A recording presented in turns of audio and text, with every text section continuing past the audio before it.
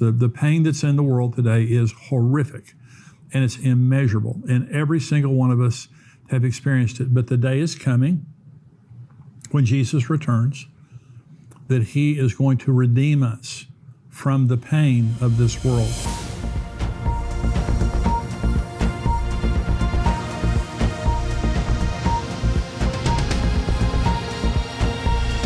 Today I'm teaching again from my new book, Look Up, Awaiting the Rapture and Our Final Redemption. This is it right here. And we're talking about, you know, just the excitement we should feel when we see the things looking happening in the world today because Jesus is about to come. And I'm talking in detail about another dimension of why we should be looking up and expecting the rapture and our final redemption. Before we get to the teaching, I want to remind you again about our upcoming Tipping Point Conference on September the 16th at Fellowship Church right here in the DFW Metroplex. I'm going to be sharing along with Pastor Ed Young, who's the senior pastor of Fellowship Church, Dr. Tony Evans, Jonathan Cahn, Billy Crone, and Dr. Mark Hitchcock. It's going to be a fantastic day. If you're an endtimes.com paid subscriber, be sure to use the exclusive discount code below for 50% off your ticket. Today I want to talk about redeemed pleasure. That what, what is it that Jesus has redeemed for us? Well, He's going to redeem our bodies. He's going to redeem pleasure. Again, redeem means to buy back. Eden, God created Adam and Eve, and Eden, Eden means pleasure and delight. Isn't that interesting that God, God created us in a place that, that meant pleasure and delight? And you say, well, why did he do that? Because that's all he wants for us. God never intended for us to ever experience pain. And that, that's, that's hard for some people to understand because, you know, pain is, we deal with pain every day in the world. You say, well, where did pain come from? Let me read you the account of where pain entered the human race. This is in Genesis 3 when Adam and Eve rebelled against God. Uh, Genesis 3, beginning of verse 16. To the woman he said, I will greatly multiply your sorrow and your conception. In pain you shall bring forth children. Your desire will be for your husband, and he will rule over you. And by the way, that means you're going to want to dominate your husband, but he's going to dominate you. Then to Adam he said, Because you have heeded the voice of your wife and have eaten from the tree which I commanded you, saying, You shall not eat of it. Cursed is the ground for your sake. In toil you shall eat of it all the days of your life. Both thorns and thistles it shall bring forth for you. And you shall eat the herb of the field. In the sweat of your face you shall eat the bread till you return to the ground, for out of it you were taken. For dust you are, and to dust you will return. It, it would be absolutely impossible to measure the pain that the human race has experienced since that day that God cursed Adam and Eve. And He cursed them because of their rebellion. And they thought that they could eat the fruit of the tree of the knowledge of good and evil without consequences. And the consequences have been horrific. The wages of sin is death, not will be, not were, is death. Satan is the wonderful advertiser of sin, but he doesn't tell you about the death that follows. And he didn't tell Adam and Eve, and they, they didn't take God's warning.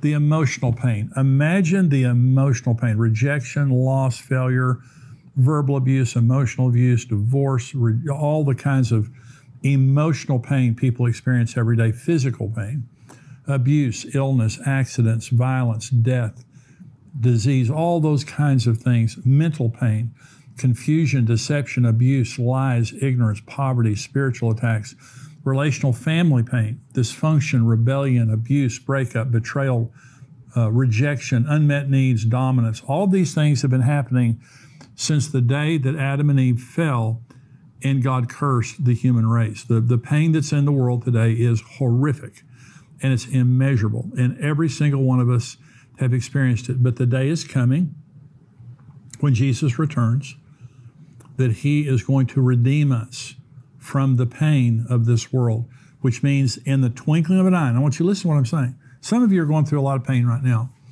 You're going through financial stress. You're, you're dealing with the trouble in your marriage, with your kids. You have a prodigal child you have a, a, a, boss maybe that's harassing you, you have somebody that's talking bad about you, criticizing you, whatever it might be, physical pain, emotional pain, whatever it is. Can I just tell you that in a twinkling of an eye, you'll never you'll never feel pain again for all of eternity. Now that's just hard. It's hard to imagine that you will never feel pain again. Let me. This is Revelation 21, talking about what happens when we're with, with God.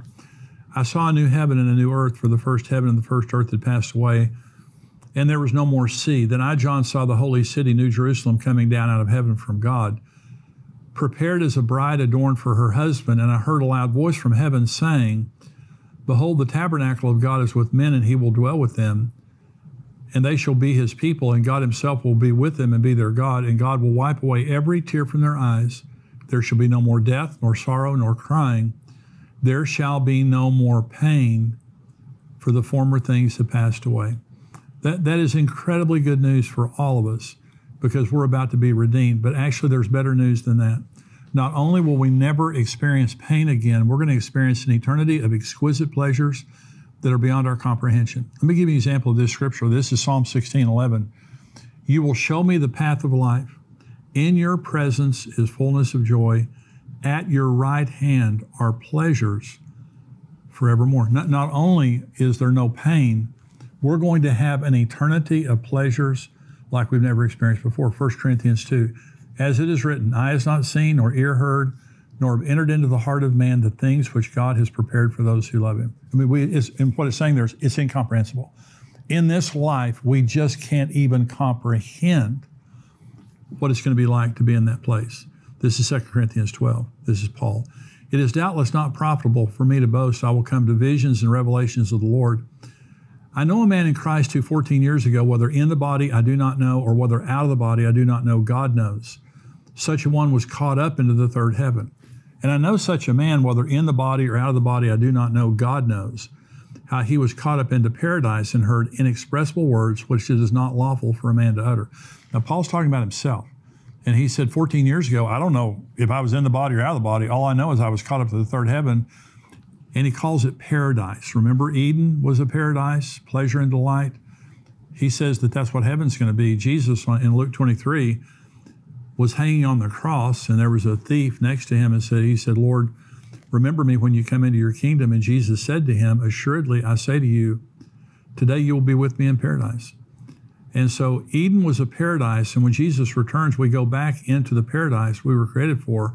And paradise always includes five things. I want you to think about where you are right now versus where you're going to be when Jesus returns. Because we're going into a paradise. Beauty, a paradise has to be beautiful, it has to be comfortable. There's no such thing as a painful paradise. Pleasure, paradise is about pleasure, sensual type pleasure. Plenty, a paradise you have plenty of everything you're looking for, and safety. There's no paradise in, in war zones. And so, beauty, comfort, pleasure, plenty, and safety. The devil will be in hell. There's going to be nothing in all of eternity to harm us, and we're going to be in a perfect paradise. Compared to the paradise Jesus is taking us to, we have never experienced pleasure before. The, the world is a torture chamber. You know, we're so accustomed to this world that we just forget how bad it is. It's just terrible.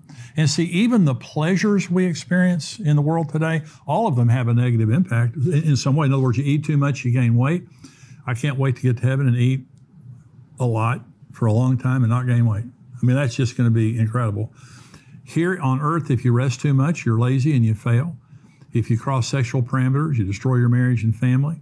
If you stay in the sun too long, you get a sunburn. If you spend too much, you go broke. But not in heaven.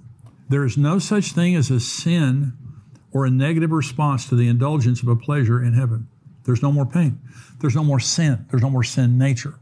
And so, literally, everything in heaven is legal and pleasurable, and there's never a negative consequence to it. It's just, again, it's beyond our ability to comprehend. So, a lot of people, I was trying to lead a guy to the Lord one time that I worked with before I came into the ministry.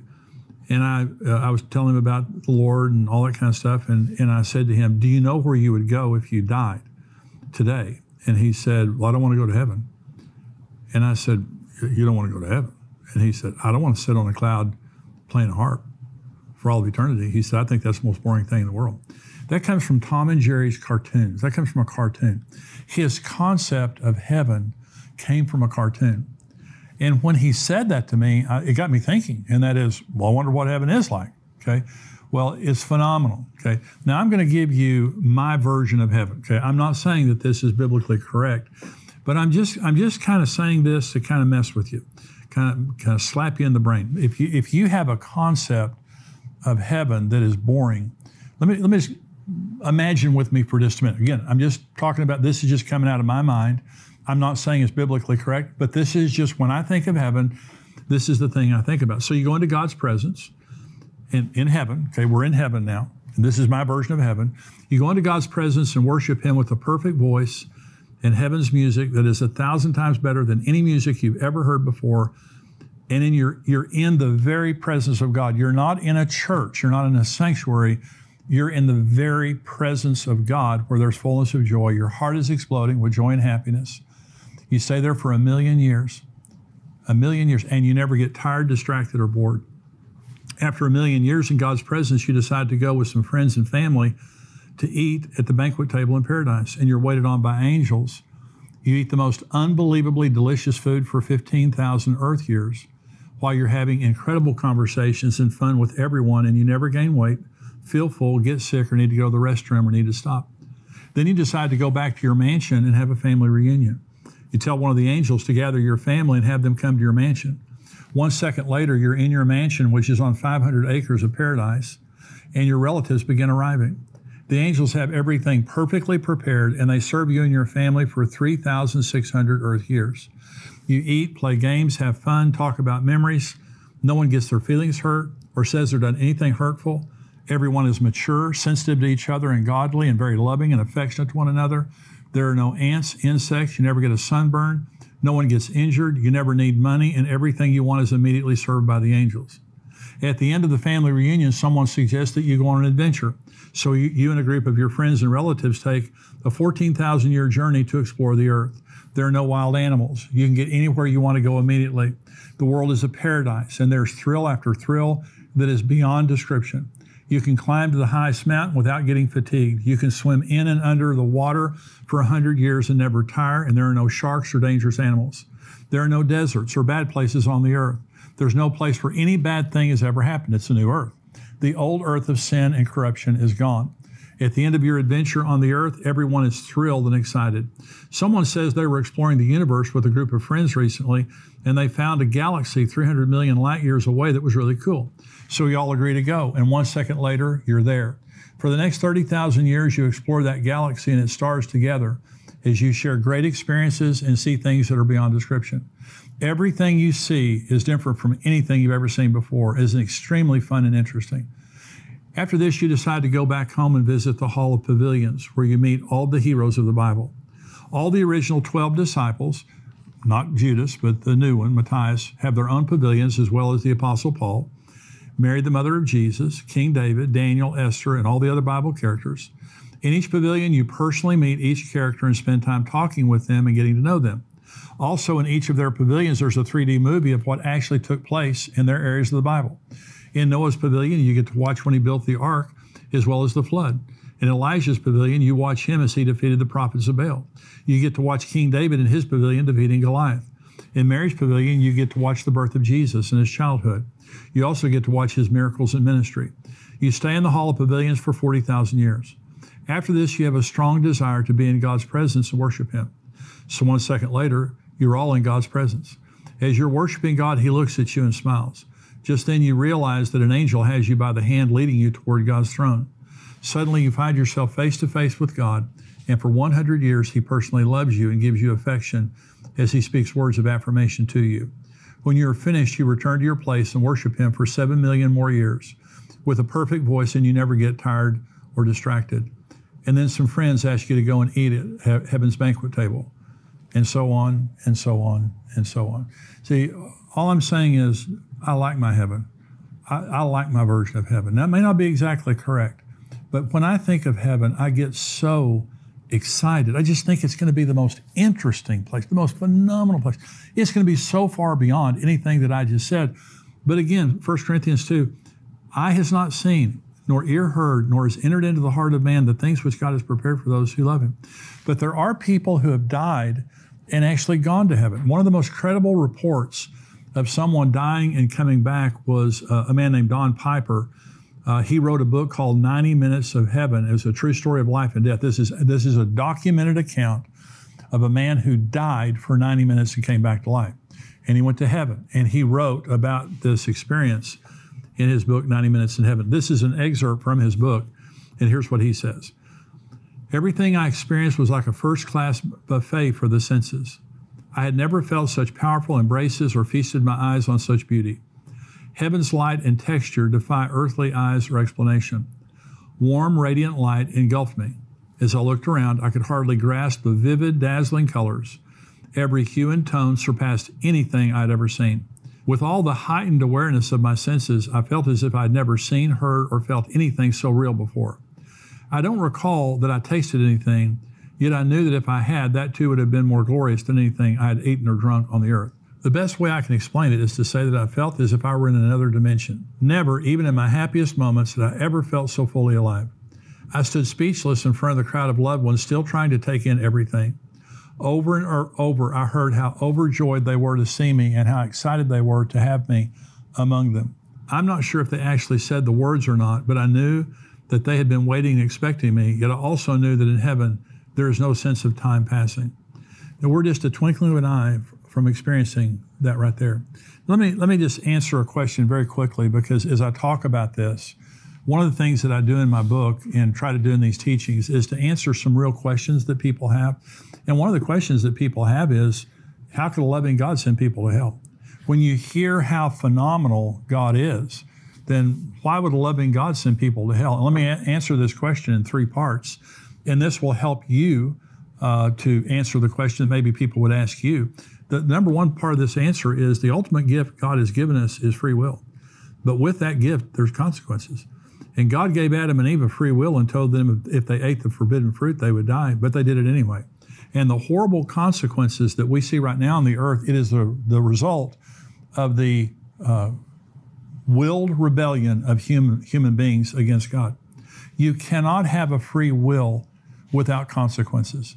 If you could, there'd be no meaning to life and, and, no justice. Imagine just a minute there's no difference between a loving mother and a child abuser. See, if, if there is no hell, if there, is, if there is no consequence for our choices, then a loving mother and a child abuser are the same. A murderer and a doctor are the same. A thief and a diligent worker are the same. A drunk and an Olympic athlete no difference. An atheist and a missionary, a cynic and a believer. Adolf Hitler and Abraham are the same, sitting at heaven's table together. No difference. No consequences. No reward for Abraham, no consequence for Adolf Hitler. The Apostle Peter and Judas are the same. Osama bin Laden and SEAL Team, SEAL Team 6 are the same. Abraham Lincoln and John Wilkes Booth are the same. And Martin Luther King and the Ku Klux Klan are the same. If you had a world free well, free will without consequence, you would have a world of mass confusion, corruption, and violence a thousand times worse than it is today. We have a free will, and with it, there are consequences. The suffering we see in the world today is partly because of the sin of Adam and Eve and the consequences of their fall, and partly because of all of our sins.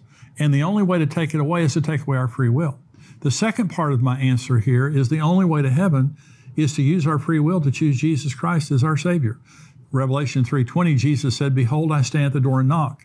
If anyone hears my voice and opens the door, I will come to him and dine with him and he with me." And so he's talking about the door of our hearts. Is he's knocking on the door of our hearts, and if we open the door, he's going to come in. Well, he's not going to kick the door down. He's not going to force himself on us. That's not the way he is. He makes himself real to everyone. Uh, Romans chapter 1 says, even through creation, he's revealed himself to every person. But I have to choose God myself. And someone might say, well, Jimmy, I don't understand. If God is a loving God, why doesn't everybody go to heaven? Well, let me explain something to you.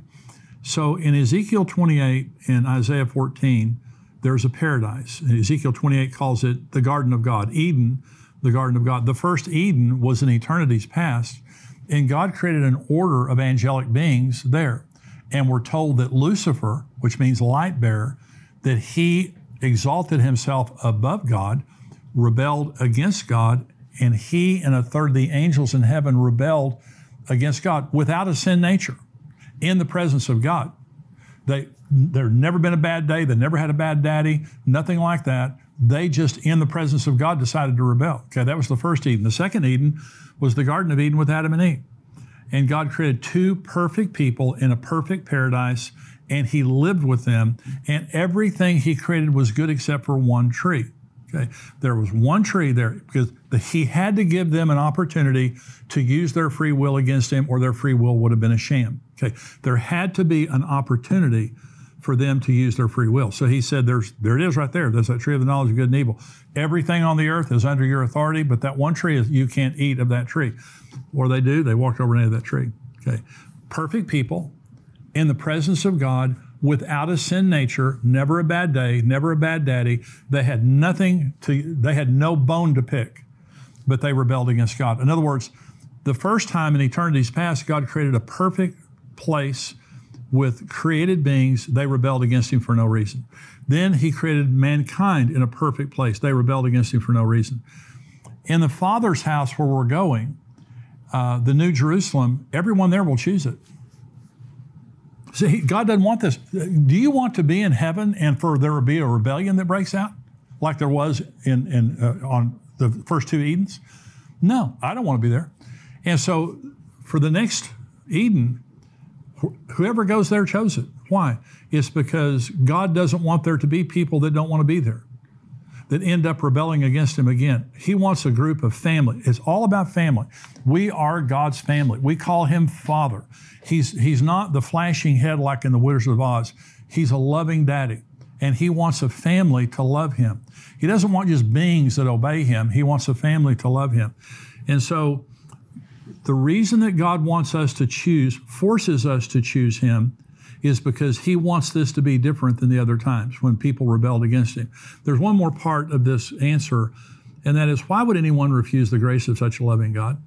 Now, see, we always put the burden on God and say, God, well, you know, why would you send people to hell? Well, God doesn't send anybody to hell, they send themselves. Let me ask you this question though. Why would anyone refuse the grace of uh, such a loving God? Jesus died for our sins. We're saved by grace, not by our works. It's a free gift. No one, no one can say, I couldn't have had it. Everyone can have it because it's a free gift.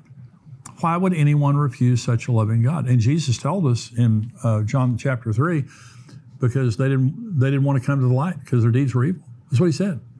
And so hell is avoidable if we accept God's grace and we understand that we have a free will and with that there are consequences. So we're going to go very soon to a, a life of total pleasure. No more pain for all of eternity. I just think that's phenomenal news. My book, Look Up, I talk about pleasure. I talk about new bodies. I talk about all the different things, nine different areas that Jesus redeemed. And when you understand this, it's just totally encouraging. Hey, thank you for joining me for today's program. If you want to see the full program, including the subscriber portion, go to endtimes.com. $7 a month, $77 a year. Become a subscriber. We want you to see not only the whole Tipping Point show, but all of our other articles, all of our other videos that come out all week long. Become a subscriber to endtimes.com. I'll see you next time.